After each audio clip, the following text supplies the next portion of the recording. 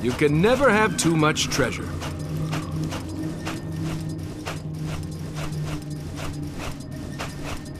That looks valuable.